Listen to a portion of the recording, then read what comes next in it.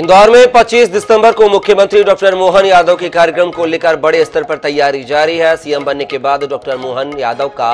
ये पहला इंदौर दौरा है कार्यक्रम को लेकर जिला प्रशासन और बीजेपी आमने सामने अपने अपने स्तर पर तैयारी कर रही है तय कार्यक्रम के मुताबिक मुख्यमंत्री डॉक्टर मोहन यादव सबसे पहले कंकेश्वरी मैदान पहुंचेंगे जहां पच्चीस हजार लोगों के बैठने की व्यवस्था की जा रही है जिसके लिए एक बड़ा डोम तैयार किया जा रहा है दूसरी ओर हुकुमचंद मिल मजदूरों को दी जाने वाली मुआवजा राशि का भी वितरण करेंगे